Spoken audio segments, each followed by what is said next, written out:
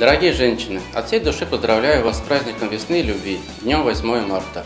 Хочется пожелать вам прежде всего здоровья. Здоровья вам и вашим семьям. Пусть в ваших домах всегда будет только мирное небо. Пусть исполняются все ваши самые сокровенные желания.